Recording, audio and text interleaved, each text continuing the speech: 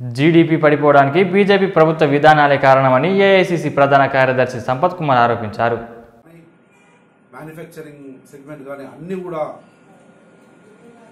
ఇబ్బందులు పడి ఈరోజు లక్షలాది కోట్లాది మంది భారతదేశంలో ఉద్యోగాలు కోల్పోవడం వ్యవసాయము ఉత్పత్తులు తగ్గిపోవడము పరిశ్రమలు మూతపడము కోట్లాది మంది నిరుద్యోగులు అవడము మొత్తంగా ఆర్థిక వ్యవస్థనే చిన్న భిన్నమై ఈరోజు ఆ రోజు యూపీఏ ప్రభుత్వం అధికారంలో ఉన్నప్పుడు ఏదైతే పది శాతం జీడిపి ఉన్నదో ఈ రోజు చూస్తే దాదాపు ఆ నిర్ణయాలు తీసుకునే ముందే ప్రపంచ ఆర్థికవేత్త అయినటువంటి మన్మోహన్ సింగ్ గారు చెప్పినారు. దీనివల్ల జీడిపి పడిపోతుంది ప్రపంచంలోనే భారతదేశము ఆర్థికంగా కృంగిపోతున్న దేశంగా గుర్తింపబడుతుంది జాగ్రత్త అని హెచ్చరించినప్పటికీ పిడచేయిన పెట్టడం వల్ల ఈరోజు పది శాతం ఉన్నటువంటి జీడిపి మూడు శాతానికి పడిపోయింది.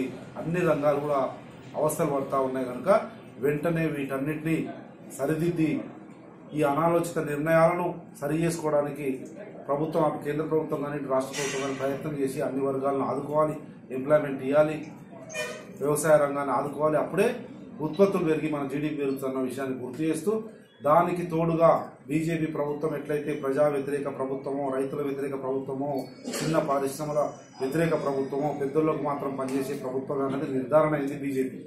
దానికి మద్దతు తెలిపి శాసనసభలు కానీ బయట కానీ మద్దతు తెలిపినటువంటి టీఆర్ఎస్ ప్రభుత్వం తెలంగాణ రాష్ట్రంలో నోట్ల బందీకి అంటే నోట్ల రద్దుకు మద్దతు తెలిపింది జీఎస్టీకి మద్దతు తెలిపింది మిగతా అన్నింటిలో మద్దతు తెలిపింది.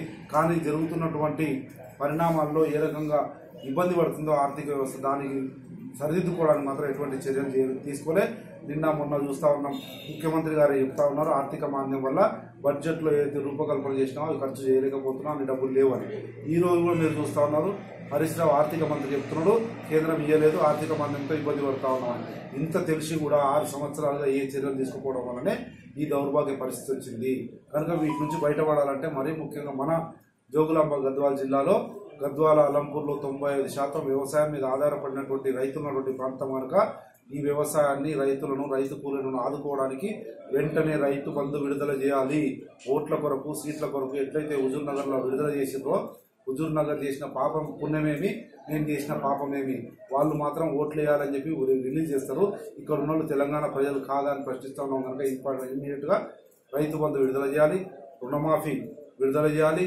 తర్వాత ఈ పాస్ పుస్తకాల గందరగోళం చెప్తే ఎంత ప్రహాసనం అయితే నేను చెప్పిన ఎంఆర్ఓ సంఘటన కూడా చెప్పొచ్చు దాంట్లోనే. పాస్ పుస్తకాలు ఇవ్వకపోవడం వల్ల బయట రుణాలు దొరకడం లేదు బ్యాంకు రుణాలు. ప్రైవేట్ రుణానికి కూడా పాస్బుక్ పెట్టుకొని ఇవ్వడము సర్వసాధారణము. ఫర్టిలైజర్ పోతే పాస్బుక్ కావాలి పెస్టిసైడ్ పోతే పాస్బుక్ కావాలి సబ్సిడీ విత్తనాలకు పోతే పాస్బుక్ కావాలి. వీటన్నిటికీ పాస్బుక్లు ఇవ్వకుండా ఇంకా భూ భూ ప్రక్షాళన పేరిట రెవెన్యూ రికార్డుల ప్రక్షాళన పేరిట అస్తవ్యస్తమైనటువంటి నిర్యాలు నిర్ణయాలు తీసుకోవడం వల్ల అటు అగ్రికల్చర్ కానీ ఇటు డొమెస్టిక్ కానీ అందరూ కూడా ఇబ్బంది పడతా ఉన్నారు కనుక వెంటనే దాన్ని కూడా సరిదిద్దాలి. అటు కేంద్రంలో బీజేపీ కానీ ఇటు రాష్ట్రంలో టీఆర్ఎస్ పార్టీ కానీ తీసుకున్నటువంటి అనేక అనాలోచిత నిర్ణయాల వల్ల యావత్ భారతదేశంలో ఆర్థిక వ్యవస్థ కుంచుకుపోయి ఆర్థిక మాంద్యం ఏర్పడి భారతదేశంలోని అనేక రంగాలు ఉనికిని కోల్పోయే ప్రమాదం ఉన్నటువంటి సందర్భంలో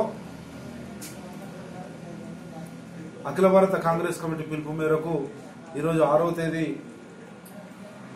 ప్రజలను జాగృతం చేసే విధంగా మీ ద్వారా పత్రికల ద్వారా ఎలక్ట్రానిక్ మాధ్యమాల ద్వారా ప్రజలను జాగృతం చేయడం ఒకటి. ఎనిమిదవ తేదీ కలెక్టరేట్ల ముట్టడి. పదహైదవ తేదీ రాష్ట్ర రాజధానిలో పాదయాత్ర ద్వారా నిరసన తెలియజేసే కార్యక్రమము అఖిల భారత కాంగ్రెస్ కమిటీ పిలుపు మేరకు ఈరోజు జోగులాంబ గద్వాల జిల్లాలో కూడా మీ ద్వారా జనాన్ని జాగృతం చేసే ప్రయత్నం చేస్తూ ఉన్నాం. దాంతోపాటు ఎనిమిదవ తేదీ పెద్ద ఎత్తున జిల్లాలోని కాంగ్రెస్ పార్టీ శ్రేణులన్నీ మూడు వేలకు తగ్గకుండా మా జిల్లా అధ్యక్షుడు అన్ని గ్రామాలతో మాట్లాడుతూ ఉన్నారు.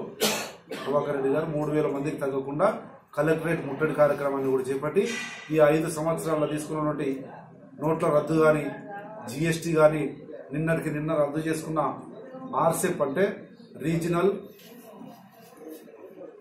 కాంప్రిహెన్సివ్ ఎకనామికల్ ప్రోగ్రామ్ ఏదైతే పార్ట్నర్షిప్ సబ్మిట్ అవుతుందో దాంట్లో కాంగ్రెస్ పార్టీ రాహుల్ గాంధీ పెద్ద ఎత్తున వ్యతిరేకిస్తేనే ఈరోజు నరేంద్ర మోడీ గారు వెనక్కు తగ్గి చాలా మటుకు ఆర్థిక వ్యవస్థ అతలాకుతలం కాకుండా కాపాడడంలో కాంగ్రెస్ పార్టీ విజయం సాధించిందని భావిస్తూ ఉన్నాం. పత్తి తెంపుతా ఉన్న పత్తి చేతికి వస్తా ఉంది దాదాపు. పత్తి చేతికి వచ్చిన అమ్మనికపోతే కూడా నీవు నీదైనా ఎన్ని ఎకరాలు వేసినావు నీ పంటనైనా కాదని రైతులు పాస్బుక్లు చూపించమంటున్నాం దానికి కూడా పాస్బుక్లు ఇవ్వలేదు. ఈ రకంగా అన్ని కూడా పాస్బుక్లతో తర్వాత రెవెన్యూ భూమి లక్ష్యాలతో ఇనుమడించి ఉన్నాయి కనుక వెంటనే అది సమస్యను పూర్తి చేసి రైతు బంధు రుణమాఫీ ఇవన్నీ పూర్తి చేయాలని చెప్పి డిమాండ్ చేస్తూ సీసీఐ కింద పత్తి కొనుగోలు కేంద్రం పెట్టాలి. లాస్ట్ టైం నేను అపోజిషన్లో ఉన్నా కానీ శాసనసభ్యుడిగా కొట్లాడి ఆ రోజు ఎప్పుడు చరిత్ర ఎప్పుడు లేదు పత్తి కొనుగోలు కేంద్రం మా దగ్గర. నేను తెచ్చిన నేను ఎన్నో మూడేళ్ళు పత్తి కొనుగోలు కేంద్రం పెట్టి చేసినాం. కానీ ఈరోజు అక్కడ ఆ బడప ఇక్కడ ఈ బడప ఇద్దరు కూడా వ్యవసాయం లేదు జనం లేదు. రైతుల మంచి చెడులు కాకుండా వ్యాపారాల మీద దొంగ దందల మీద పైసల మీద కలెక్షన్ల మీద పడరు కనుకనే ఈరోజు రైతులకు ఇంకా అవస్థ పడతా ఉన్నారు. నేనే మాట్లాడినా వీళ్ళతో కాదు నాకు తెలుసు ఎవరితో మాట్లాడాలో కూడా తెలియని అవగాహన లేని ప్రజాప్రతినిధులు ఇక్కడ ఉన్నారు కనుక నేను మాట్లాడిన సీసీఐ తోటి.